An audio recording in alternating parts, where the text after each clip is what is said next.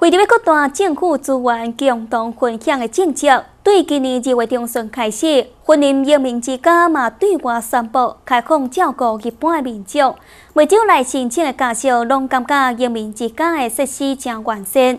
地又搁看环境搁清幽，而且拢有编制医生、护理师、甲社工师、药剂师等专业人员，嘛互厝内人真放心，将长辈送来遮照顾。因为进前来申请的长辈，拢必须经过身体检查等审核，最近才有长辈正式来入段。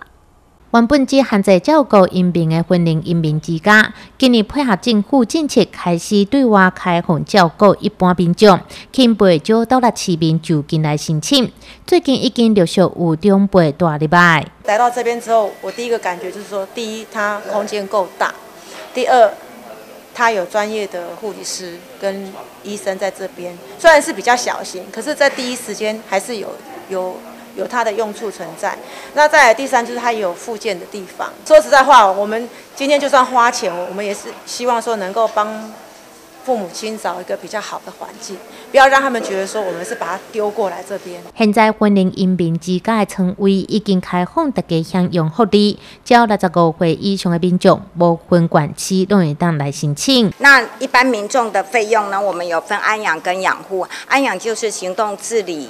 OK 的，我们的费用是伙食费三千六，服务费七千九百五十元，合计就是一万一千五百五十元。那养护的地方，因为它需要有密集的照护人力，那所以整个费用是两万一千五百五十元。差一些些，因为一般大概都是两万三左右啦。